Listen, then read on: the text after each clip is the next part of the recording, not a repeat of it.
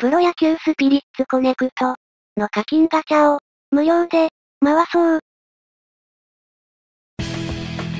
課金ガチャを回すには SC が必須です。SC は iTunes カードと交換可能。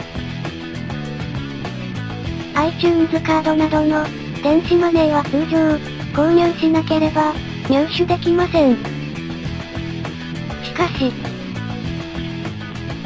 これを無料で入手する方法があります。その方法を使って課金ガチャを実際に無料で回しているのがこの映像です。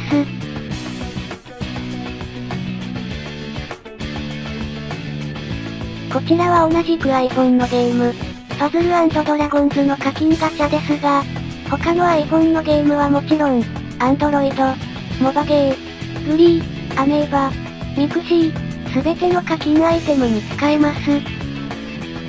詳しい方法は QR コード、もしくは動画説明の URL から、どうぞ、